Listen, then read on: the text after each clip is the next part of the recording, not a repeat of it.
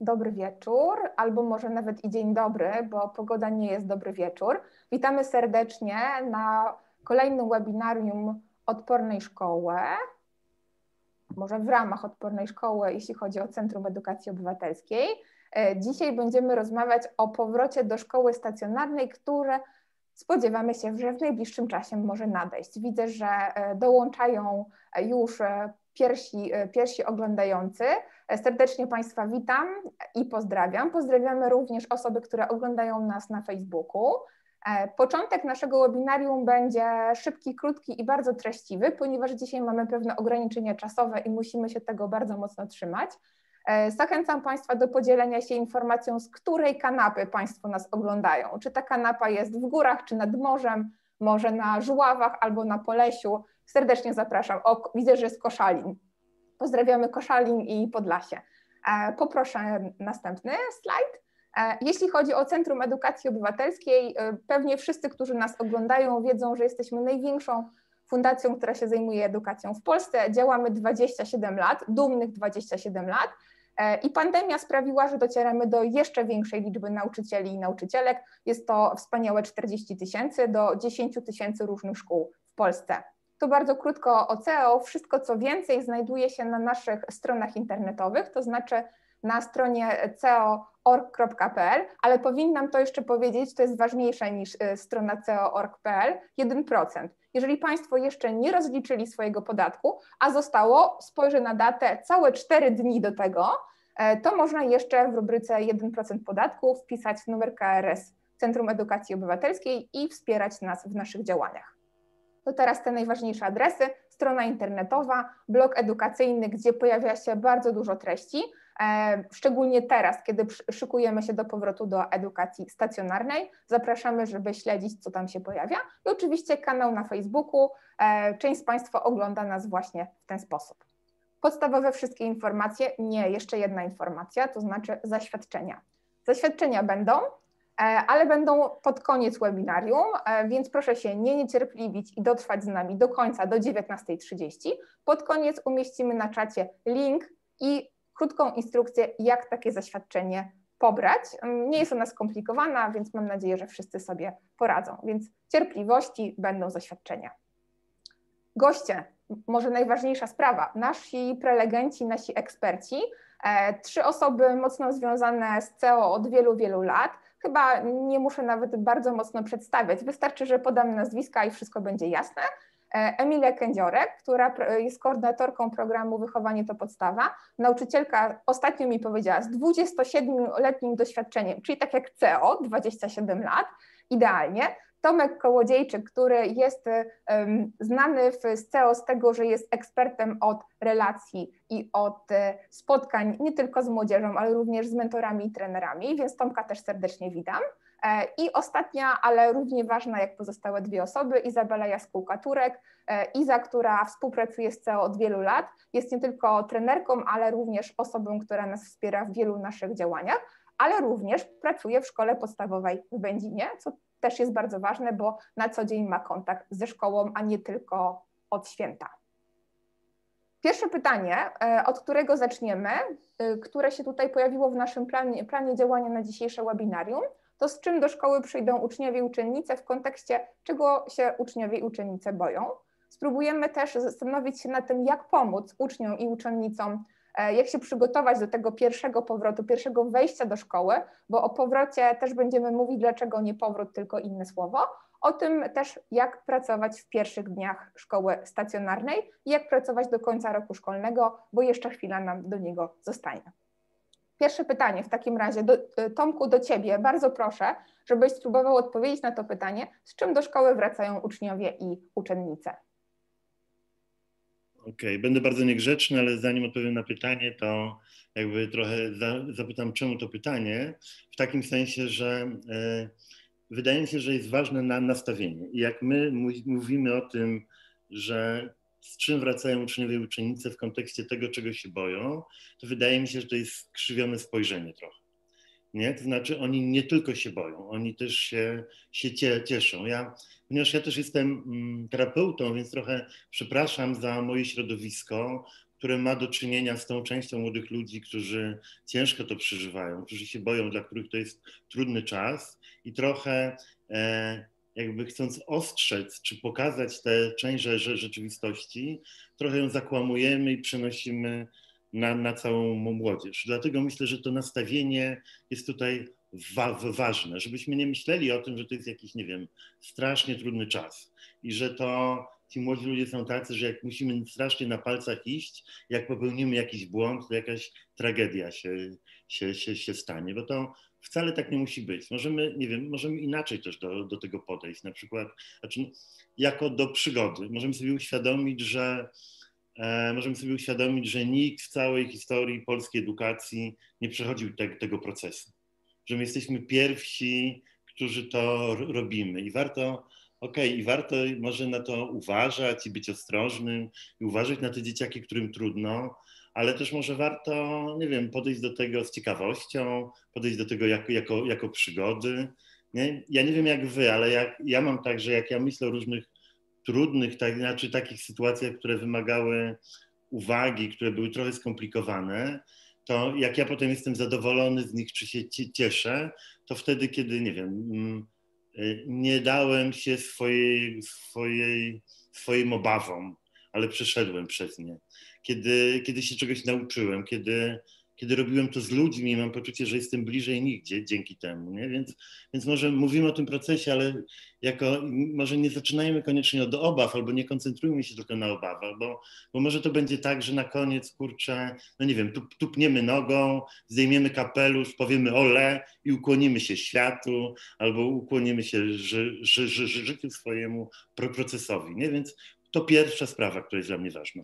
Druga jest język, którego używamy, że wydaje mi się, że jednak język trochę wskazuje na, na rzeczywistość ją, i ją trochę kształtuje. W związku z czym dlatego my wolimy mówić przejście, przejście do stacjonarnej edukacji, aniżeli powrót, bo tak naprawdę wracamy do budynku, ale i sytuacja jest inna, i ludzie są inni, i myślenie o tym, że teraz będzie tak, jak było, albo powinno być tak, jak było, i chcemy wrócić nareszcie do tamtych starych czasów, wydaje mi się, że, że, że jest błędne. Nie?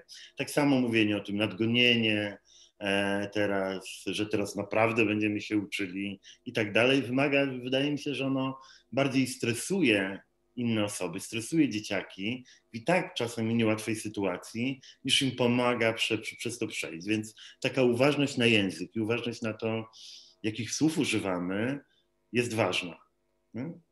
E, I trzeci element, który, którym jest dla mnie ważny, to zobaczenie tego, że my uczniowie i my nauczyciele jedziemy trochę na tym samym wózku, że różne nasze lęki, obawy, radości są po, podobne i żebyśmy pamiętali też o tym, że jak myślimy o różnych działaniach wobec dzieciaków, to też warto myśleć o różnych działaniach wobec nauczycieli, bo one są równie ważne i że jeżeli nauczyciele nie będą mieli z czego dawać dzieciakom, to im nie, nie dadzą.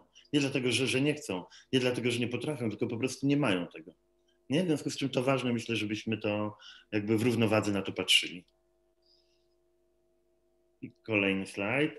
Okej, okay. zobacz, mm, ja prowadzę zajęcia z dzieciakami, prowadzę zajęcia w klasach na temat tego, w jaki sposób, e, jak oni odbierają, jak oni odbierają to zdalne nauczanie, jak sobie mogą radzić z tym. Też zapytałem jakąś randomową klasę z województwa lubelskiego na temat tego, jakby jak, jak myślą o powrocie, jak myślą o powrocie do nauczania, o przejściu do nauczania stacjonarnego, to jakie widzą pozytywne sprawy tutaj.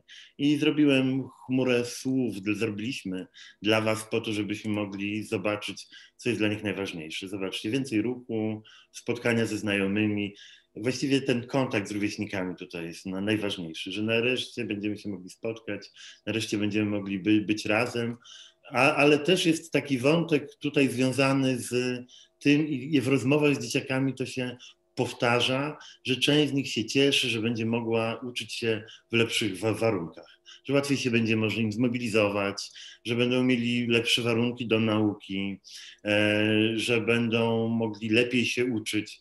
To dla nich też jest ważne. Wydaje mi się, że takie trzy elementy, główne elementy radości z tego powrotu to są takie właśnie. I teraz jeszcze pokażmy kolejny slajd, który jest związany z trudne sprawy. Dlatego nie używam słów obawy, żeby trochę nie nakręcać, albo strach, tylko trudne sprawy, które są tutaj związane.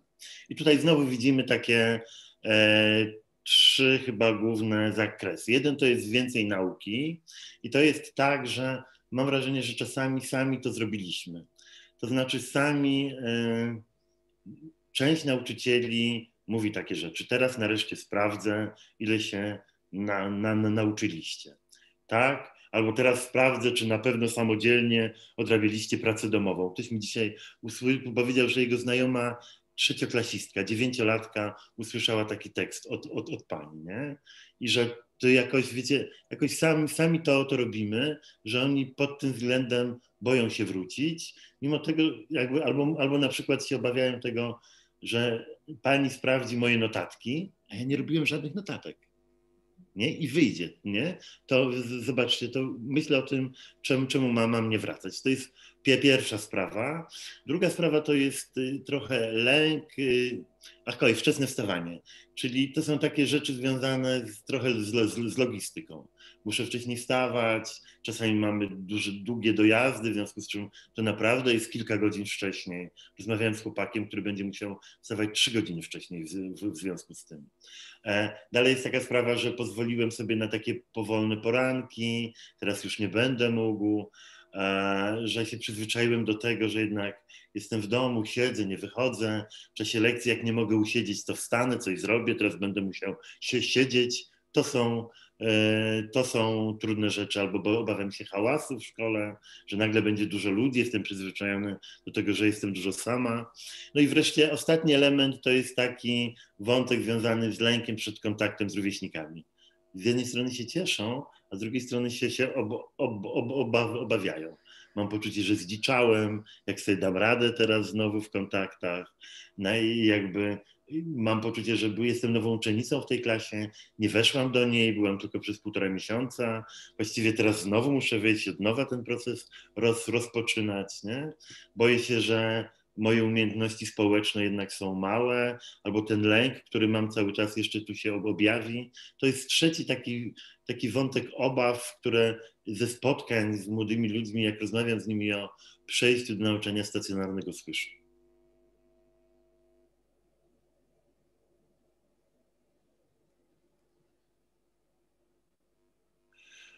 Um, Okej, okay. to jest trochę to, co, co, co mówiłem, tak? Czyli o czym to jest, to tak. E, to ja trochę w takim razie pozwolę Ci odebrać głos i przekazać go okay. Izie. E, jeszcze tutaj skomentuję na czacie bardzo dużo osób, które nas ogląda, e, mówią o, o, tym, że jest bardzo duża różnica pomiędzy starszakami a młodszymi dziećmi, że są zupełnie inne emocje. I ja wierzę, że Emilka się do tego odniesie jako nauczycielka w szkole średniej, ale na razie Izo pozwolę, pozwolę Tobie się wypowiedzieć. E, dziękuję. To ja w takim razie e, dzień dobry, witam, e, witam serdecznie wszystkich. Ja trochę pociągnę ten, ten wątek, o którym mówił Tomek, że mm, jakby ważny jest język, ale ważne jest też to, że są różne dzieci y, i różna młodzież i nie wszyscy tak samo nie, nie wszyscy z takimi samymi lękami lub ich brakiem e, do szkoły, do szkoły powracają.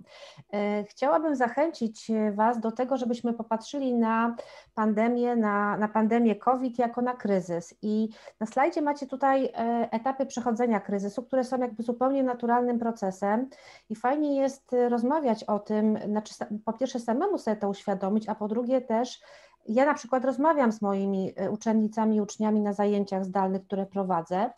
E, naturalne jest to, że kiedy jest kryzys, to e, pierwszym takim, pierwszym takim etapem to jest doświadczenie napięcia i każdy jakby to doświadcza i tak jest i w tym nie ma ani nic dobrego, ani nic złego, tak po prostu się dzieje. Jeśli ten kryzys się przedłuża i nie radzimy sobie z nim na tym etapie, to to napięcie narasta i wtedy mogą poja pojawić się jakieś pierwsze niepokojące, y, niepokojące symptomy. Natomiast w trzecim etapie już zaczynamy poszukiwać sobie strategii radzenia sobie z, kry z kryzysem. Zaczynamy zmieniać perspektywę, zaczynamy na przykład robić coś dla innych, zaczynamy stawiać sobie trochę inne cele życiowe i e, jeśli tutaj, mm, tu jest jakby ten moment, kiedy możemy, możemy jakby ten kryzys, przechodzenie tego kryzysu zatrzymać. Ale no ja jestem e, pedagogzką i e, pracuję też terapeutką. Ja pracuję z, z uczniami, uczennicami o specjalnych potrzebach.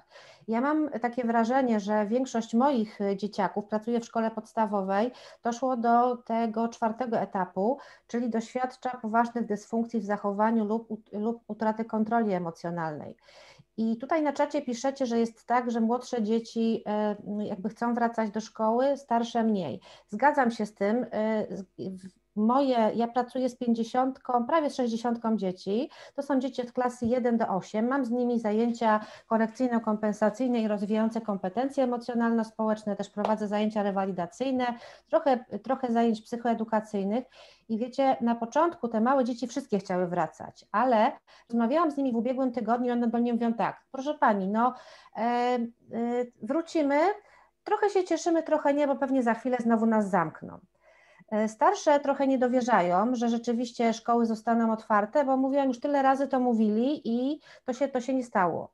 Więc e, poproszę następny slajd. E, także to, to, co chciałam powiedzieć, to jest to, że właściwie nie wszyscy uczniowie wchodzą jakby z tym samym do szkoły i różnie reagują na kryzys. Są tacy uczniowie, którzy mają duże zasoby, które mm, pozwalają im lepiej poradzić sobie z kryzysem. To są ci uczniowie, którzy mają e, adekwatną samoocenę, którzy potrafią budować satysfakcjonujące relacje społeczne, ale to są także ci uczniowie, którzy mm, na przykład mają jakieś swoje pasje, zainteresowania i ta pandemia nie sprawiła, że, te, że jakby zerwali kontakty ze znajomymi. Są tacy uczniowie, którzy właśnie mają mocne, te, te, te, znaczy, którzy, którzy mają deficyty społeczne i osobiste.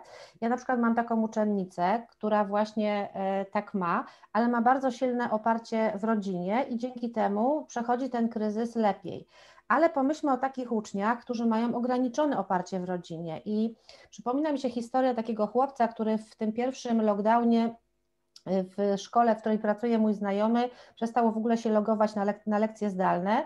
I jak y, we wrześniu y, wrócili do szkoły, to y, ten znajomy mój pyta, no co tam u Ciebie słychać, nie widzieliśmy się dwa miesiące, on proszę Pana, e, ja po prostu musiałam się wyprowadzić z domu i e, bo, bo jakby rodzice, jakiś tam był kryzys domowy, musiałem sobie poszukać mieszkania, chłopak 18 lat, e, no i naprawdę nie miałem głowy do tego, żeby się uczyć. No i są też uczniowie z silnymi zasobami osobistymi, ale też oni niekoniecznie nie przejawiają żadnych lęków.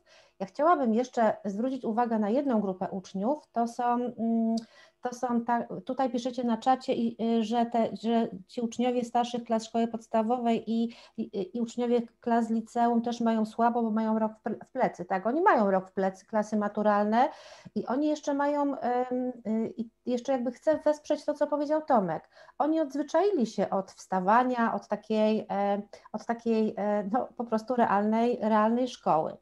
Więc y, jakby moja puenta tej, tej części jest taka, żebyśmy byli gotowi, że przyjdą różne dzieci i że będzie tak, jak mówił Tomek, że część będzie miało, część się będzie cieszyć, ale przyjdą też takie dzieci, na, których trzeba być, y, na które trzeba być szczególnie uważnym, ponieważ te dzieci y, prawdopodobnie będą potrzebowali naszej, będą potrzebowały naszej zwiększonej uwagi i pomocy. Dziękuję Izo. To Emilko, w takim razie to pytanie wraca do Ciebie. E, a wiem, że masz coś super do zaprezentowania. E, tak, dzień dobry Państwu serdecznie. E, ja tutaj bardzo mocno chciałabym pod, podbić te, te głosy, że oczywiście to nie jest tylko kwestia um, obaw, to jest kwestia także pewnych nadziei, ale to też nie jest do końca tak, że część dzieci czeka na, na powrót do szkoły, a część dzieci się tego powrotu obawia, czy, czy tego przejścia, Tomku, obawia. Y, myślę, że ten podział jednak też i, idzie przez środek ich psychiki. To znaczy te obawy i te nadzieje się jakoś tam ze sobą y, po prostu, po prostu łączą. Y, I tak się składa, że ja swoich uczniów bardzo chciałam zapytać zarówno o ich nadzieje, jak i ich obawy. I to jest trochę o właśnie tym, czym jest nauczanie stacjonarne, czym jest nauczanie zdalne, bo to, co się wydarzyło y, u nas, to, y, to fakt, że nie zadziałały mi nie zadziałały mi nadzieje w Mentimeterze i byłam w stanie sprawdzić tylko, jakie mają obawy. Także dlatego, że ja dzisiaj pokażę Państwu mm, to, czego, czego nasi uczniowie się obawiają, to wynika z tego, że po prostu nie zadziałał mi do końca Mentimeter. I zapytałam mm, swoich licealistów, to jest przede wszystkim pierwsza klasa szkoły, mm, szkoły średniej, dużego liceum warszawskiego, e, o to, czego oni się boją. I wiem, że to nie jest tak, że absolutnie wszyscy e, licealiści obawiają się powrotu, e, powrotu do szkoły. Kiedy patrzę na te wszystkie, na te wszystkie wypowiedzi, w których, jak, jak widzicie Państwo, przeważają jednak informacje dotyczące sprawdzianów, właśnie dużej ilości testów, odpowiedzi, nadrabiania, tego to paskudne słowo, które, które ostatnio się ciągle, e, ciągle pojawia, kiedy, mm, kiedy na to, na to wszystko patrzymy, e, to ewidentnie też został popełniony jakiś, jakiś błąd komunikacyjny, na pewno po naszej nauczycielskiej stronie, że oni nie usłyszeli po prostu. Nikt im nie powiedział, że słuchajcie, może mm, nie, nie, nie, będziemy tego wszystkiego sprawdzać. Gorzej od niektórych oczywiście usłyszeli, że będą, jak najbardziej będą te sprawdziany. Ale teraz jak bardzo ważne jest to, żeby, żeby uspokoić ich w tej chwili i powiedzieć, jeżeli to jest oczywiście prawda, to też jeszcze do tego będziemy nawiązywać, albo żeby porozmawiać w tej chwili w gronie nauczycielskim na temat tego, czy my naprawdę, naprawdę musimy mm, sprawdzać teraz wszystko, tak? Y, czy, czy, czy to jest najlepsza, najlepsza strategia, bo oni usiądą na tych ławkach dramatycznie, zupełnie z, y, zestresowani. Y, ale jak, jak Państwo widzą, oprócz tych wypowiedzi, mm, które pojawiły się w ankiecie Tomka, czyli że boją się właśnie samego sprawdzania, wcześniejszego wstawania, także relacji właśnie rówieśniczych, pojawia się najnormalniej w świecie także lęk przed chorobą, a także lęk przed wzrostem zachorowań, który doprowadzi do, do większej ilości zgonów po prostu. To mm, wydawałoby się być może, że, że ten lęk już jest y, jakoś tam oswojony, że to on zwłaszcza, że występował zwłaszcza w pierwszym etapie pandemii, tym bardziej okazuje się, że nie. Być może te odpowiedzi są rzadsze, ale jednak występują.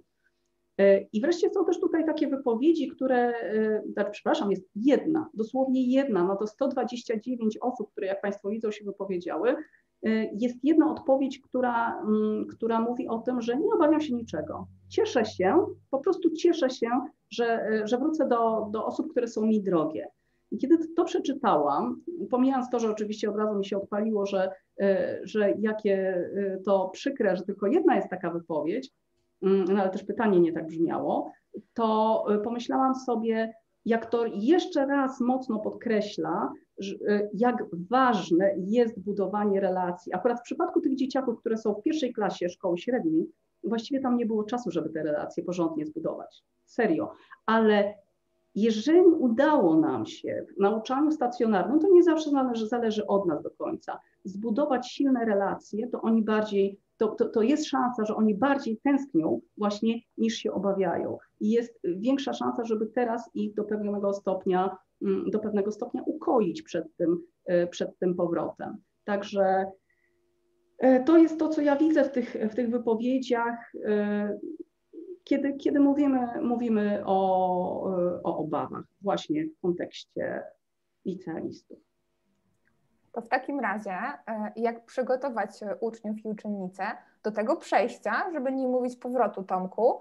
E, zanim e, pozwolę Ci udzielić głosu, tutaj padł głos na czacie, bardzo, bardzo myślę mądry Pana Grzegorza, że trochę nie mówmy im, w jakiej są bardzo złej sytuacji, tylko właśnie wspierajmy, wspierajmy. Więc jeśli Tomku, Ty coś masz w kontekście wspierajmy, a zakładam, że masz, to podziel się z nami proszę.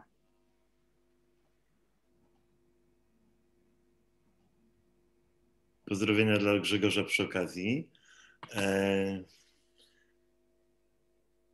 no dobrze, słuchajcie, chciałem trochę powiedzieć o tym czasie, że jeżeli wiemy, że on jakoś tam niedługo na, nastąpi i za jakiś czas y, y, spotkamy się z naszymi uczniami w klasie, w szkole, to y, czy jakoś możemy przygotować ich do, do, do, do tego, albo co możemy robić w międzyczasie, żeby dla nich to przejście było łatwiejsze. Nie, nie wiem, czy myśleliście o tym, bo myśmy trochę myśleli. My jakoś rozmawiamy o tym w CE od, od kilku dni bardzo, bardzo in, intensywnie, no i trochę wpadamy na różne pomysły, co, mo, co, co można by, by zrobić. Tutaj rozmawiamy ze szkołami, z dyrektorami, którzy już różne rzeczy, rzeczy robią. No i chciałem pokazać Wam kilka rzeczy, które nam przyszły do, do, do, głowy. Że możemy po prostu z nimi rozmawiać o tym i zapytać, y, jak chcieliby, żeby wyglądał pier, pierwszy dzień, i możemy po, powiedzieć im, co my zaplanowaliśmy, i po prostu porozmawiać z nimi o tym. Możemy też zrobić mini projekt, że zbieramy od klasy pytania albo z całej szkoły w ogóle pytania dotyczące tego procesu przejścia albo pytania dotyczące pierwszego dnia. Dzięki temu będziemy wiedzieli, o czym oni myślą, będziemy wiedzieli, czego oni się obawiają i po prostu uczciwie i rzetelnie odpowiadamy im na te pytania, po, pokazując moich pomysłach, mu, mówimy, że nie wiem, ale że fa, fajnie, że to pytają, to może pomyślimy o tym i, i tak dalej. Na pewno warto im jeszcze wcześniej przypomnieć im o zasadach bezpieczeństwa i higieny, żeby przygotować. Być może możemy porozmawiać z nimi o tym, czego potrzebują, żeby, żeby łatwo w to, w, to, w to wejść. Nie? Możemy wreszcie porozmawiać z nimi o tym, jak chcemy pomóc tym, dla których to przejście jest szczególnie trudne, bo pewnie przygotujemy jakoś, może będziemy mieli dla nich jakieś specjalne grupy, albo może będą mieli specjalny czas dla z wychowawcą, żeby o tym porozmawiać. W każdym razie możemy im pokazać, że myślimy o tym, że to jest dla nas ważne i że dbamy o to. Następny slajd, jeśli mogę. E Możemy też y, powiedzieć, jak to wygląda z naszego punktu widzenia. Nie udawać, że to jest dla nas, y, y, że to nie jest, że to jest dla nas bez, bez znaczenia. Z drugiej strony nie warto sobie, nie warto tak bardzo im, jeżeli się obawiamy tego, nie warto im przerzucać te, te, tego na, na nich. Myślę sobie, mam 13-letniego syna, jak on mi mówi o tym, że się czegoś obawia, to ja myślę, że on nie mówi mi po, po to, żebym ja powiedział, Jezus, synku, masz rację, też się tego boję nie? Tylko, żeby bardziej, żebym odpowiedział, ok, słyszę to, ja trochę też, ale da, damy sobie radę i, i, i, i, tak, i tak dalej. Dalej z, zobaczcie, możemy, jest cały wątek taki związany z informowaniem rodziców i z rozmawianiem z dzieciakami na temat tego, albo być może ze wspólnym spotkaniem dzieci i rodziców na temat przejścia nie? I, przygotowania do, do, do tego, że to może być fajna sprawa na wspólne spotkanie, porozmawianie, odpowiedzenie na pytania, pokazanie różnych ważnych rzeczy. Kolejne elementy to są takie, że możemy zaangażować samorząd uczniowski i klasowy.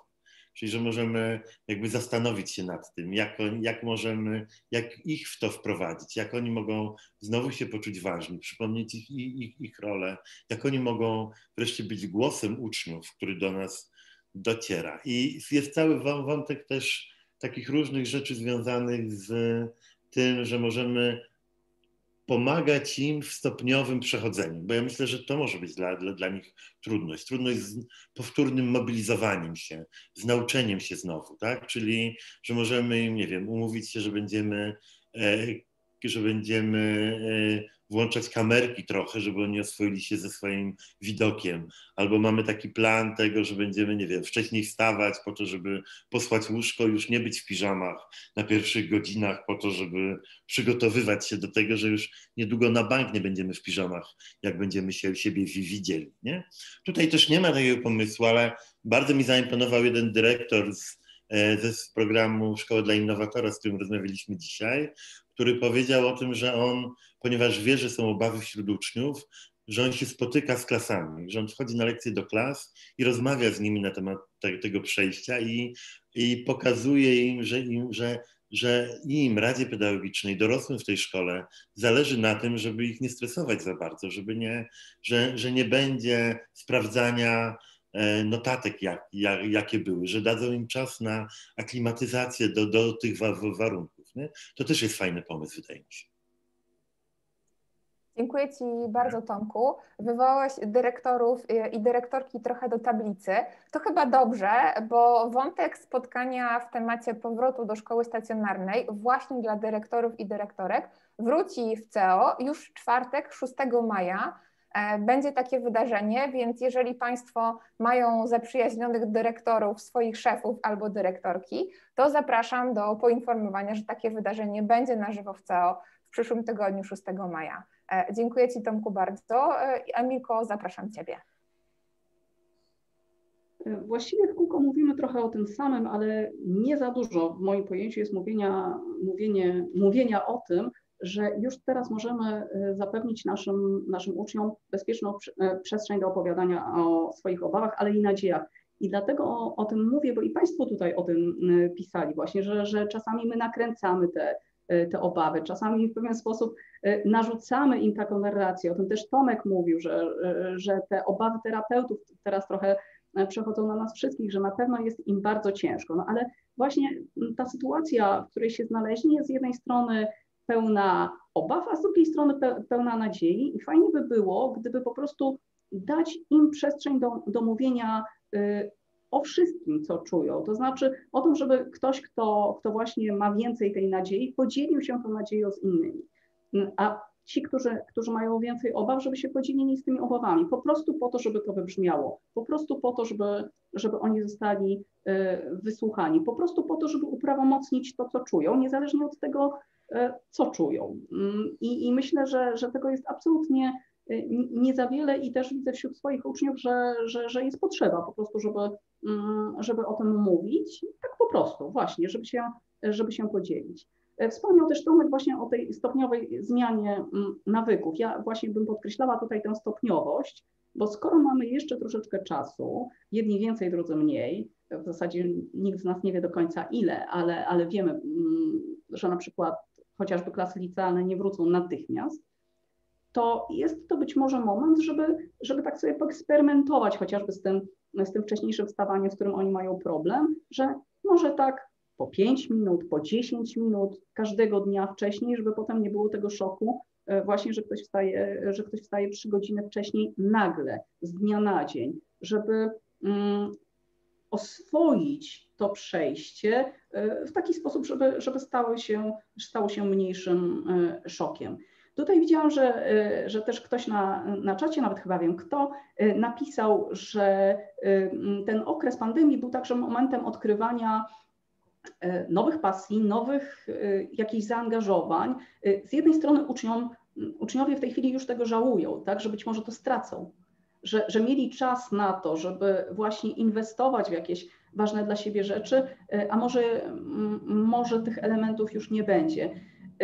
Myślę, że też fajnie jest porozmawiać właśnie o tym, że może jednak w mniejszym chociaż zakresie te czynności, te pasje, te aktywności, które odkryli teraz, że to jednak da się ocalić, żeby wspierać ich w takim, w takim myśleniu pełnym nadziei, ale także, żeby porozmawiać o tym, y, co się działo przed pandemią, bo przecież na litość boską przed tą pandemią. Oni, oni wstawali rano, tak, oni dojeżdżali, oni robili, znaczy mieli mnóstwo już takich zasobów, z których w mniejszym bądź większym stopniu można skorzystać teraz, żeby sobie przypomnieć, że hello, robiliście to, daliście radę, daliście, dacie radę też teraz. Oczywiście nie wszystkie te strategie da się wykorzystać w tej chwili, mm, bo bo tak, tak bo, bo, bo chociażby mm, to, że będą dojeżdżali komunikacją miejską, ok, ale będą dojeżdżali w maskach, ale być może będą jakieś ograniczenia w tej komunikacji miejskiej, jeśli chodzi o miejsca, mm, to są pewne nowe, nowe sytuacje. A wreszcie być może będzie problemem to, że,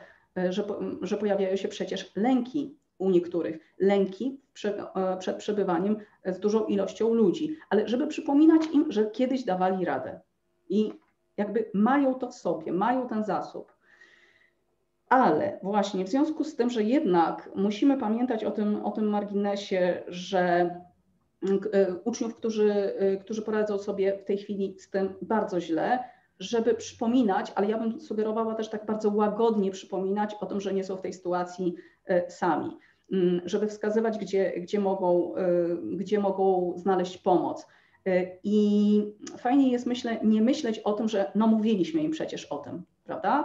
Żeby tak y, delikatnie, ale co jakiś czas przypominać o tym, żeby oni to słyszeli jako, jako taki mm, bezpieczny komunikat, tak, tak, tak, macie gdzie się zwrócić i, i konkretnie mówić dokąd, tak?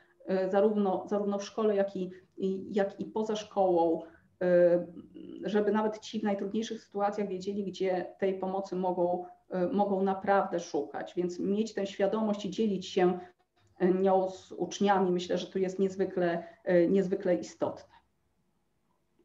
Wskoczyła nam kaczka, więc wywołujemy Izę, bo Iza też powie ze swojej perspektywy, jak pomóc uczniom i uczennicom w tym przejściu, ale też zaproponuje bardzo konkretne rozwiązanie, a potem będziemy już rozmawiać tylko konkretnie. Dzięki Kasiu za wprowadzenie. Ja chciałam podbić taki post tutaj z Facebooka, że ktoś napisał, że będzie leżał ze swoimi uczniami na zielonej trawce, patrzył się w chmury będzie rozmawiał, a może milczał. Ba bardzo podoba mi się taki pomysł na pierwszy, na pierwszy dzień w szkole, tym bardziej, że podobno od 5 maja ma się już poprawić pogoda. E, dla mnie jednak przy tym, przy, przy, tym przyjściu do szkoły jest, czy przejściu do szkoły jest bardzo ważne to, żeby zadbać o poczucie bezpieczeństwa. I tutaj chciałam powiedzieć coś nie tylko o uczniach, i uczennicach, ale ja rozmawiam z wieloma nauczycielami, mam kontakt z nauczycielami, ja pracuję ze szkoły, więc mam kontakt z moimi koleżankami i kolegami, rozmawiamy ze sobą, e, ale też e, ze względu na mój charakter pracy w CEO kontaktuję się z nauczycielami zdalnie z innych szkół, z wielu szkół w Polsce i to, co ja widzę w ostatnich kilku tygodniach, żeby nie powiedzieć miesiącu, to jest to, że nauczyciele też zaczynają e, tą sytuacją być już jeszcze bardziej zmęczeni niż do tej pory. Więc myślę sobie, że zadbajmy o poczucie bezpieczeństwa i uczniów, ale też zadbajmy o siebie jako, jako nauczyciele. Jeśli chodzi o uczniów, to nie będę powtarzała tego, co już mówiła Emilka i Tomek, żeby jakby rozmawiać z nimi. Rozmów nigdy nie jest za dużo, za, za dużo, ale też, żeby rzeczywiście tak naprawdę usłyszeć, jak oni się czują i czego potrzebują.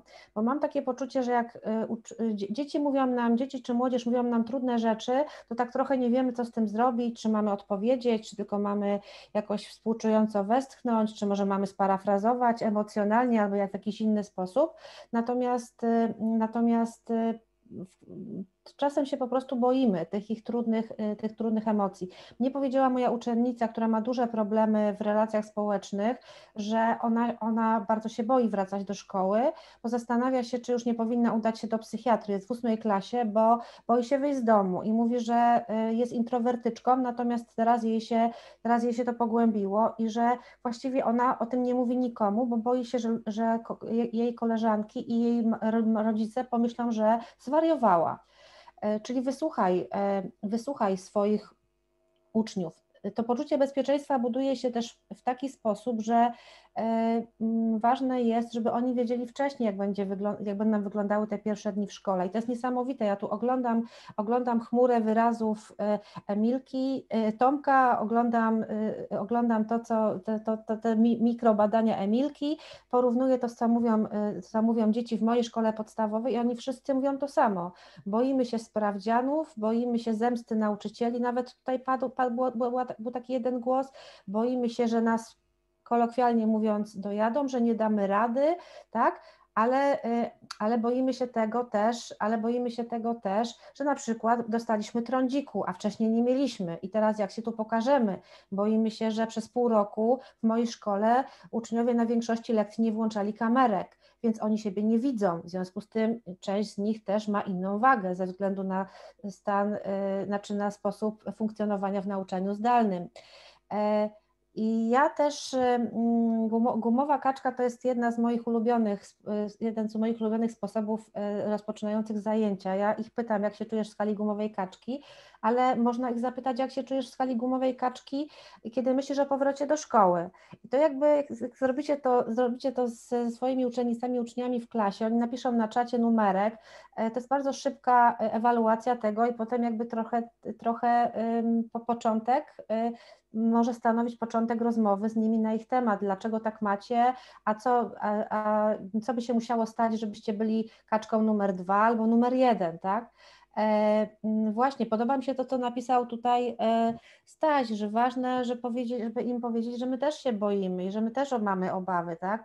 No bo wiecie, to jest może niepopularne, co ja mówię, ale wielu moich kolegów i koleżanek nie chce wracać do szkoły, nauczycieli. Przyzwyczaiło się do nauczania zdalnego, do tego, że mogą sobie wstawić zupę rano i pilnować ją, jak tam sobie w przerwach między lekcjami, że też mogą nie włączać kamery na pierwszej lekcji, nie myć głowy i siedzieć, e, siedzieć w piżamie, tak?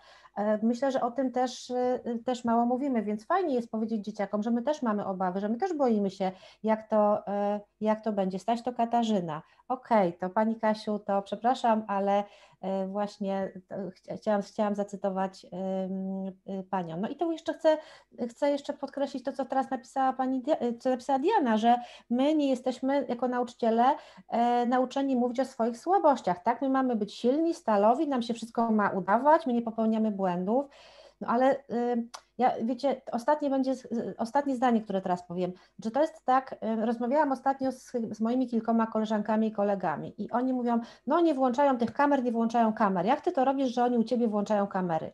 Ja mówię, bo u mnie kamery zaczęli już włączać w marcu. E, ja, ja, ja, kamerę też włączam. A czy wy włączacie kamery? No nie, no my kamer nie włączamy. A dlaczego oni nie włączają kamer?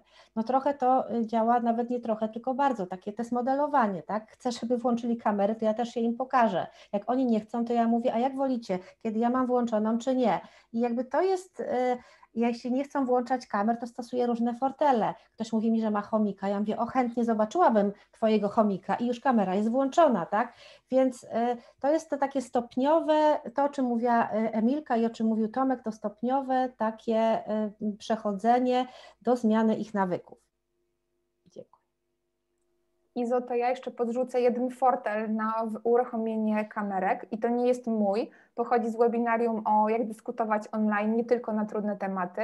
E, i Kuba podrzucił tam konkurs skarpetkowy, że on specjalnie zakłada takie oryginalne, ciekawe skarpetki, e, szczególnie z tymi młodszymi dziećmi, na przykład w czwartej klasie, organizuje konkurs skarpetkowy, no ale żeby móc w nim wziąć udział, to trzeba pokazać te skarpetki. Można z założonym na stopę, można ewentualnie zdjąć, E, jego uczniowie wiedzą, że są takie konkursy, więc e, to wszystko zależy chyba, czy mamy miejsce w naszej głowie, żeby tego typu konkursy robić i przyznać się, e, że my też na przykład źle wyglądamy i włączymy sobie kamerę. Więc nie będzie to Iza absolutnie Twoje ostatnie zdanie, ani absolutnie Twoje ostatnie słowo, bo przechodzimy do części trzeciej, jak pracować z uczniami w tych właśnie pierwszych dniach stacjonarnej szkoły, jak pracować i przygotowywać się na zakończenie roku. I Tobie pierwszej oddam głos, żebyś kilka praktycznych elementów, może jakieś porady, jak to konkretnie zrobić z uczniami i uczennicami. Dzięki Kasiu, ja miałam na myśli ostatni głos w, odpowiedzi na tamto pytanie. E, znowu, no jakby te, te, podbijam to, co mówiła Emilka, w mówimy o tym samym, no ale jak o tym nie mówić, że jakby po, pozwólmy, pozwólmy y, uczniom i uczennicom powiedzieć, e, jak się czuli podczas izolacji. No bo skąd mamy wiedzieć, jak oni się czuli, jak y, oni nam o tym y, nie powiedzą, ale zadbajmy o warunki tego, w jakich ta rozmowa się powinna odbyć. Tutaj już mówimy, jesteśmy w szkole, możemy sobie wyjść y, plener i poleżeć i o tym porozmawiać leżąc w trawie, ale możemy też o tym, możemy usiąść sobie w kręgu i o tym porozmawiać. E, jeśli, jeśli pracujemy z, z młodszymi dziećmi, możemy usiąść sobie na dywanie. To wszystko, e, no, jesteś, jest, jesteśmy ekspertami w swojej dziedzinie. Nikt tak dobrze jak wychowawca i e, nie zna, nie, znaczy nie zna swojej klasy, przynajmniej tak sobie to wyobrażam. Dlatego jakby wybierzmy właściwy sposób. Pamiętajmy o tym, żeby oni czuli, że to jest ważna dla nas rozmowa. Poproszę kolejny slajd. Mm, można, tutaj na slajdzie um, umieściliśmy kilka takich pytań, które w takiej rozmowie y, mogą, mogą Wam pomóc. Czyli zwracam uwagę na to, żeby nie skupiać się tylko na tych obawach, ale też właśnie, czy, czy, czy zdarzyło się coś fajnego, a może czegoś nowego dowiedziałeś się, dowiedziałaś się o swoich kolegach, a może o wychowawcy, a może o, o, o nauczycielce czy nauczycielu. Jak wyglądał, e, jak, jak wyglądał wyglądał e, taki Twój typowy dzień podczas izolacji, jak wykonać pracę w kręgu przy obowiązku trzymania dystansu. myślę sobie, że myślę sobie, że wiecie, ja do tego mam po prostu chyba takie zdrowe podejście. No, e, myślę sobie, że gdybym nie mogła zrobić tego w klasie, to wyszłabym, e, na, wyszłabym podczas lekcji na korytarz albo wyszłabym na dwór, na boisko i siedlibyśmy w odpowiedniej odległości, ale też chcę powiedzieć, że żebyśmy mm, jakby, ja, ja wiem, że te warunki, ten reżim sanitarny jest bardzo ważny i że pewnie w szkołach będzie na to duży nacisk, ale też podobno mamy wrócić hybrydowo, więc będą przestrzenie szkolne y, do, do zagospodarowania, ale ja też y, rozpoczęłam niedawno pracę w szkole specjalnej i wiecie, e, weszłam tam w maseczce i no jakby w maseczce przebywam w, w, w, przestrzeniach publicznych, natomiast kiedy pracuję z dziećmi, to są dzieci upośledzone w, w stopniu umiarkowanym, no to maseczkę ściągam i no, nie, nie, nie, zachęcam Was do tego, żeby łamać reżim sanitarny, zachęcam Was do tego, żeby postępować w zgodzie ze sobą i nie dać się, nie dać się zwar, zwariować e, po prostu e, no, no, jakimś zasadom, które no nie, jakby nie chcę już kończyć tego wątku, po prostu uwierzmy w siebie, y, przestrzegajmy zasad i zróbmy to tak, żeby, żeby było to dobre dla naszych dzieciaków i dla nas, żebyśmy się wszyscy w tym czuli bezpieczni i przyjmijmy, i przyjmijmy też to, że dzieci mogą mieć różny poziom lęku, że część dzieci, przypomina mi się taka sytuacja podczas tego pierwszego lockdownu, ja pracuję z dziećmi mm, sprawnościowym ocenianiem kształtującym, to jest takie połączenie metody harcerskiej z, e, z ocenianiem kształtującym, dzieci zdobywają sprawności. Jak był ten pierwszy lockdown, to wymyśliłam, e, właściwie zapożyczyłam od koleżanki, która to wymyśliła, ja to dostosowałam do moich uczniów, taką sprawność tropiciel, tropicielka wiosny. I jednym z takich zadań mm, w zdobyciu tej sprawności było to, że dzieci wyjdą na dwór, albo do ogródka swojego i przytulam się do drzewa. I wiecie, niektóre dzieci miały takie obawy, że y, na drzewie, na pniu drzewa jest koronawirus, więc y, zmodyfikowały to zadanie, pogłaskały kwiatka, którego mają w domu. Więc jakby mówię o tym dlatego, żeby, żeby ten, żebyście zobaczyli, że ten poziom lęku może być różny, ale że też jeśli nie da się usiąść y, w kręgu, to zróbmy to w taki sposób, żeby ta rozmowa się po prostu toczyła.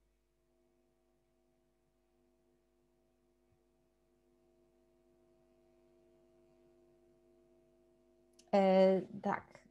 Jeszcze powinnam powiedzieć, e, przepraszam, zapomniałam o tym, że żebyśmy pamiętali o takich warunkach e, dobrej rozmowy. Znaczy, krąg daje taką, taką perspektywę, że wszyscy jesteśmy partnerami ale też tą perspektywę partnerstwa buduje to, że wszyscy się wypowiadamy. Ja mam takie doświadczenia, że y, dzieci bardzo lubią, kiedy y, mówi też nauczyciel o sobie, tak? Więc y, jeśli dzieci, jeśli dzieci się będą wypowiadać, fajnie też otwarcie powiedzieć o tym, jak ja się czułam.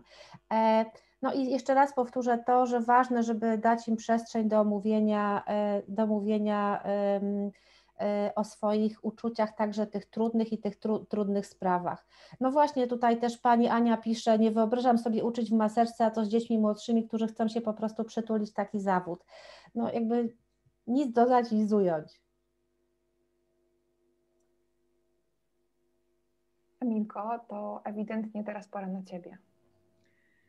E, tak, ja jeszcze chciałam dopowiedzieć, że kiedy tak słuchałam Izy i patrzyłam na te pytania, to, to mm, znowu poczułam taką potrzebę, żeby podbić to, e, co, co, co padło w wypowiedzi Tomka. Te wszystkie pytania były pełne ciekawości. Jesteśmy po prostu ciekawi, jak im jest, z czym przychodzą.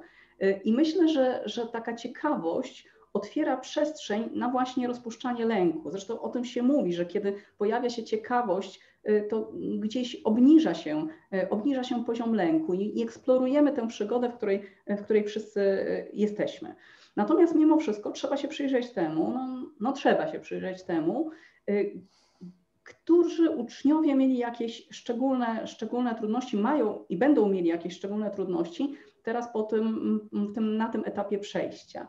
Y, I mm, rzeczywiście myślimy sobie, że, że fajnie jest zadać sobie pytania sobie najpierw, y, takie pytania, co się właściwie do tej pory zadziało. Zastanowić się właśnie, którzy uczniowie najczęściej opuszczali zajęcia online, u których zauważyliśmy jak, jakąś zmianę zachowania, być może jacyś nie odrabiali prac z naszego przedmiotu, z innego przedmiotu, y, być może z jakimś był jakiś utrudniony kontakt po prostu zdiagnozować sobie najpierw, co ja właściwie teraz już na wejściu niejako wiem nowego o, o swoich uczniach, bo powiedzmy sobie szczerze, jesteśmy też bardzo, bardzo mocno przemęczeni i być może nie było takiego momentu, żebyśmy mieli przestrzeń na to, żeby się nad tym zastanowić.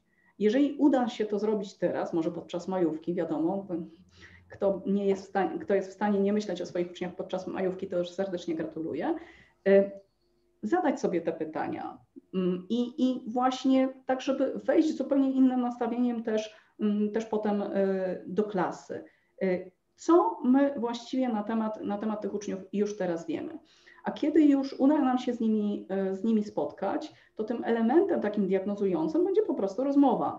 Ja wiem, że to jest słowo, które pada dzisiaj najczęściej, ale sami Państwo rozumieją, że to jest słowo w tym, w tym kontekście y, najważniejsze. Y, mm, ja tutaj zasugerowałam, że, że te pytania, mm, niektóre z tych pytań powinny paść w rozmowach indywidualnych, ale część z nich, w zależności od tego, jak funkcjonuje grupa, oczywiście mogą, mogą zostać zadane także w takim procesie, procesie grupowym. Y, o trudności, tak jak mówiła Iza, ale teraz, ale, ale także o, o jakieś po prostu wyzwania. Mm, z czym jest Ci teraz najtrudniej, tak?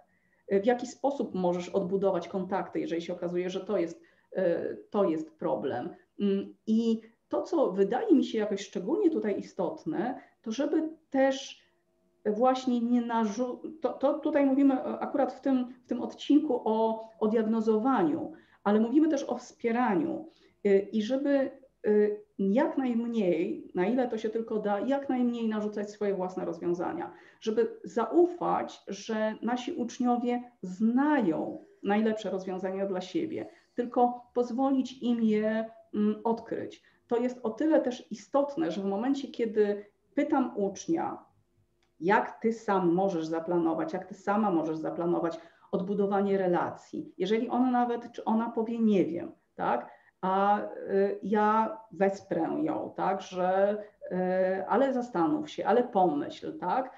Y, I jeżeli dojdzie do tego sam bądź sama, to jego bądź jej poczucie sprawczości bardzo mocno rośnie. I to już jest coś, na czym można budować mm, właśnie kolejne, kolejne kroki. Także ta rozmowa tutaj służy także poszukiwaniu rozwiązań przez, przez, tę, właśnie, przez tę osobę, która która ma jakieś e, trudności. I warto, myślę, spytać właśnie, w jaki sposób mogę Ci pomóc. Nie zakładać, że ja wiem, e, bo e, myślę, że wielu z nas i, i, i nauczycieli, i rodziców ma, ma taką tendencję do tego, że, że ja na pewno znam najlepsze rozwiązanie. Myślę, że dobrze jest pytać właśnie, jak ja Ci mogę pomóc. I, to jest kolejny moment, kiedy, kiedy dobrze jest posłuchać czy to jeśli chodzi o do, e, właśnie odbudowanie relacji, czy jeśli chodzi o samo uczenie się, czy jeśli chodzi o kontakty z innymi nauczycielami przecież, jeżeli jesteśmy, jesteśmy wychowawcą, wychowawczynią. O, o e, e, relacje tutaj z nauczycielami też padały pytania, ale zanim pozwolimy Izie znowu zabrać głos, Emilio, ja mam do Ciebie pytanie, bo sobie tak myślę, też o tym rozmawialiśmy, zastanawiając się, co przygotować na to webinarium, o takim aspekcie, teraz wszyscy nauczyciele przez 7 godzin w poniedziałek, w pierwszym dniu będą pytać uczniów, jak się czujecie z pandemią. Czy to jest dobry pomysł? Może to jest trochę naiwne pytanie, ale chciałabym chyba, Emilko, żebyś Ty jako e, koordynatorka programu Wychowanie to Podstawa, skierowanego właśnie do wychowawców klas, e, powiedziałam oczywistości, ale one są tutaj szalenie potrzebne z jednej strony takich pytań nigdy nie jest za dużo i to trochę jest tak, że każdy z nas, kiedy zadaje to, e, mm, to pytanie, zadaje je trochę inaczej. Ale jeżeli sobie spróbujemy wyobrazić tego typu właśnie pierwszy dzień szkolny, kiedy oni przychodzą z klasy do klasy i tak, no to jak się czujecie? No to co tam podczas tej pandemii, prawda? E, i oni po raz siódmy odpowiadają na to pytanie, no to oczywiście jest to pewna strategia na to, żeby mm, przesunąć ich ze spektrum lęku do spektrum złości, ale chyba nie, nie do końca o to nam chodzi. E, więc jeżeli tylko możemy, to, to, dobrze by było, no i znowu wracamy do, do roli dyrektora, ale można to także poza, mm, mm, po prostu rozmawiając ze sobą w gronie nauczycielskim, ustalić, jak to robimy, kto o czym rozmawia, a może ktoś na przykład po prostu pogada, a ktoś zrobi zaba zabawy integracyjne. To nie musi być przecież wychowawca. Y, być może y, ustalimy, co się zadzieje tego pierwszego dnia, Y, po prostu po to, żeby, żeby właśnie nie grać ciągle, ciągle tej samej zdartej płyty, kiedy oni naprawdę się po tym pierwszym dniu poczują źle, jeżeli przez 7 godzin będą opowiadali o tym, jak, jak im było fatalnie y, podczas tej izolacji. Myślę, że, że właśnie to jest. Mm, y, wiele osób teraz mówi, zresztą w artykule na, na naszym blogu, właśnie dotyczącym tego spokojnego powrotu do szkoły, też jest Y, też jest mowa o tym, że mamy szansę na nowe rozdanie. Skoro mamy szansę na nowe rozdanie, to na, tak na, także na popatrzenie chyba y, nowym okiem na współpracę nauczycieli. Nawet w takim niewielkim zakresie, jak ten pierwszy dzień, kiedy mamy poprowadzić kolej, w konkretnej klasie te 6 czy 7 lekcji. Dziękuję Ci bardzo za, za te słowa, które padły i Izo, e, pora na porcję bardzo praktycznych pomysłów, co robić z klasą. E, ja rozpocznę od tego, że pojawił mi się jakiś tajemniczy kwadra, e, kwadrat na prezentacji, ale zniknął już. To, nie, teraz się znowu pojawił, ale nie będę się nim zajmowała. Chciałabym, chciałabym zacząć od tego, że to znowu oczywistość, że mm, przyjmijmy, że to już nie jest ta sama szkoła, to już nie są te same dzieciaki, to nie jest ta sama klasa i to nie jesteśmy tacy sami mi, my jak przed pandemią ta sytuacja nas zmieniła. Jeśli myślę, że to nie jest ta sama klasa, to y, mówię o klasach, które już wcześniej ze sobą współpracowały. To znaczy nie mówię o klasach pierwszych, bo właściwie klasy pierwsze, y, no chyba mają, nie wiem, czy można powiedzieć, ktoś ma trudniej, ktoś ma łatwiej, ale one miały najmniej możliwości na integrację.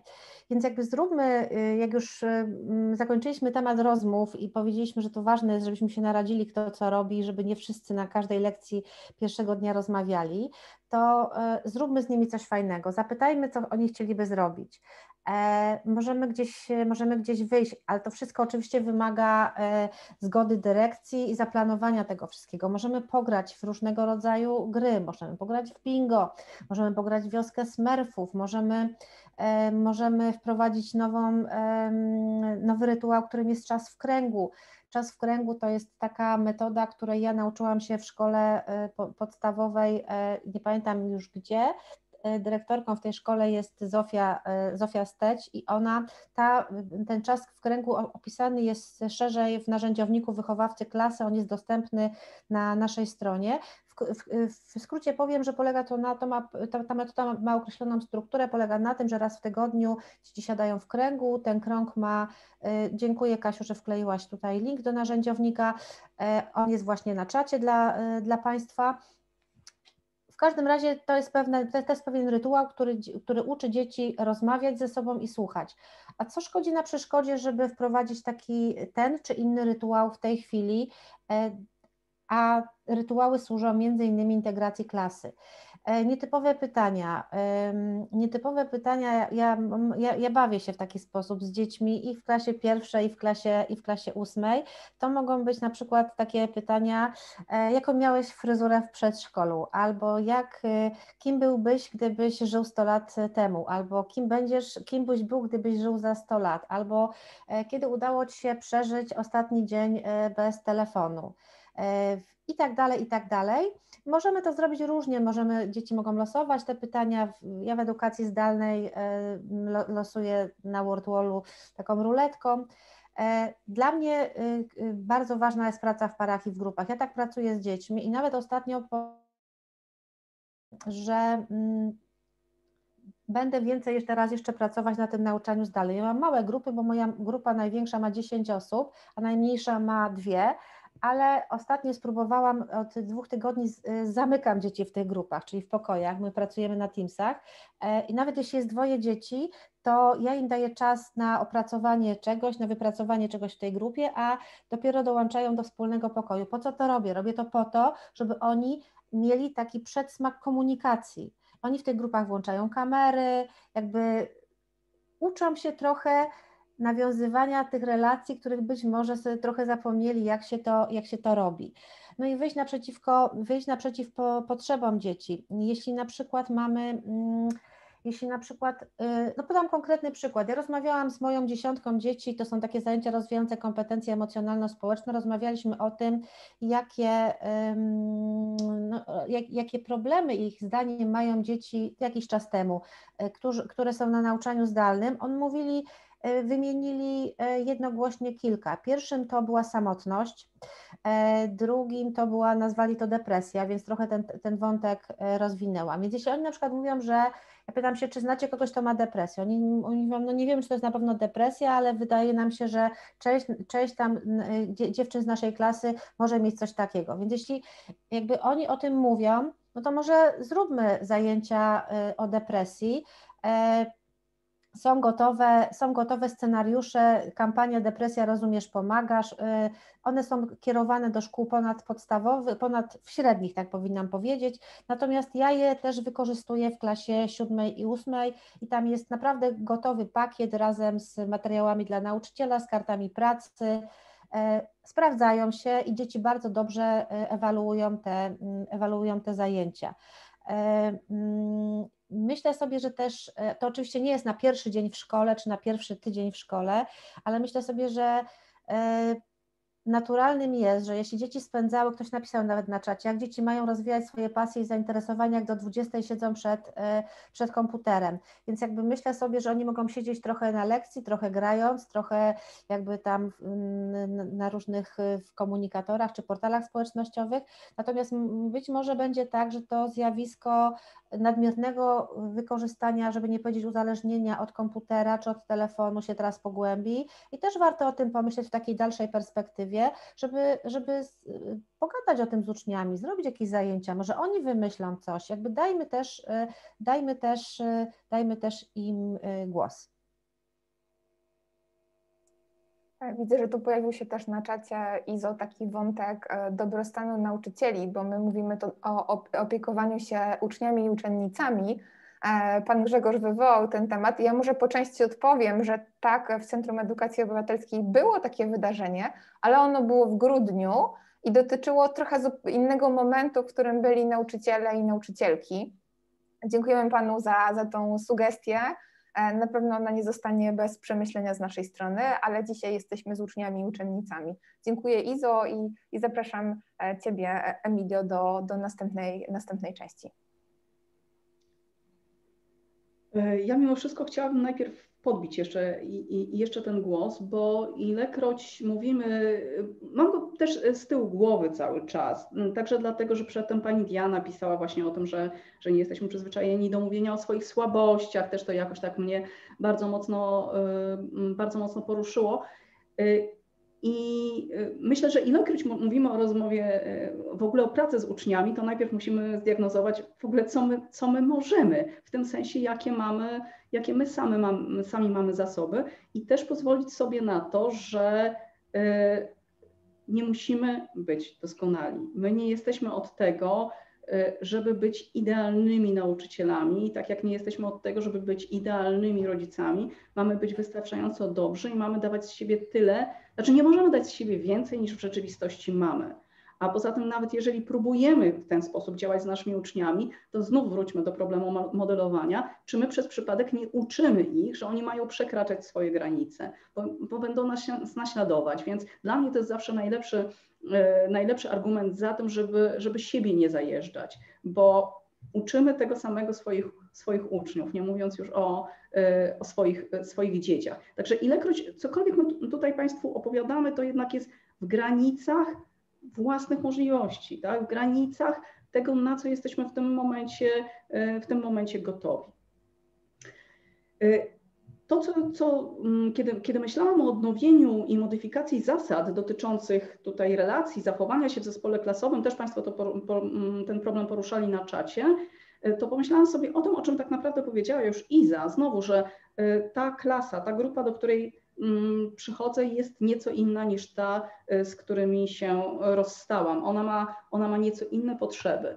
Y, I mm, zaproponowaliśmy tutaj Państwu takie, y, takie ćwiczenie, które jak gdzieś tam sobie nazwałam misą potrzeb, które można by było przeprowadzić. Ale pomyślałam sobie też, że bardzo ważne w moim pojęciu byłoby to, żeby najpierw zrobić to, o czym mówiła Iza, czyli właśnie jakąś zabawę, jakieś wyjście do parku, cokolwiek, a nie od razu ćwiczenie na, e, tego, na takie renegocjowanie kontraktu klasowego czy, e, czy zasady. Dlaczego? Bo kiedy sobie spróbowałam wyobrazić to ćwiczenie, to pomyślałam sobie, że może być tak naprawdę w uczniach bardzo dużo napięcia. Napięcia, z którego nie zdajemy sobie do końca sprawy i które nagle się objawi jakimiś chichotami, jakimiś e, jakimiś takimi zachowaniami, e, nawet wobec kolegów, które są gdzieś na pograniczu agresji, jakimiś komentarzami, które wcale nie muszą znaczyć, że z tymi naszymi uczniami jest coś nie tak, tylko że e, kiedy tak zaczniemy poważnie od razu pracować nad zasadami w klasie, a nie spróbujemy najpierw tak na luzie mm, po prostu ze sobą pobyć w takich nieszkolnych, nieklasowych warunkach, to, to, to różnie to może być. To jest takie ubezpieczenie tego ćwiczenia, które tutaj, które tutaj proponujemy.